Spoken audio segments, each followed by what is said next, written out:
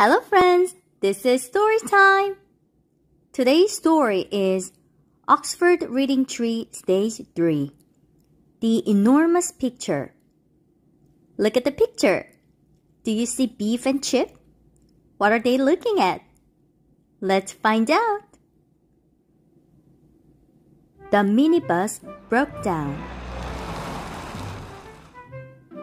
It will cost a lot to fix it, said Mrs. May.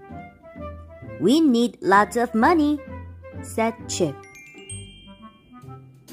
We can paint an enormous picture, said Chip. We can all paint a bit, he said. We can, said Mrs. May. Mrs. May made a copy of the picture. She cut it into squares. Paint a big picture of your bed said Mrs. May. Biff had to paint yellow petals. Chip just had to paint a yellow square.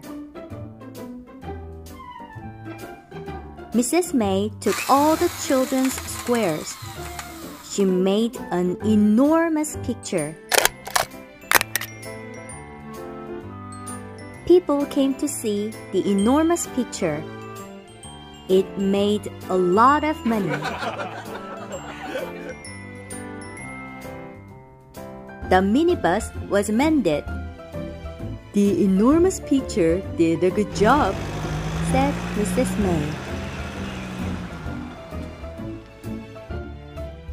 That is not as good as our enormous picture, said Chip.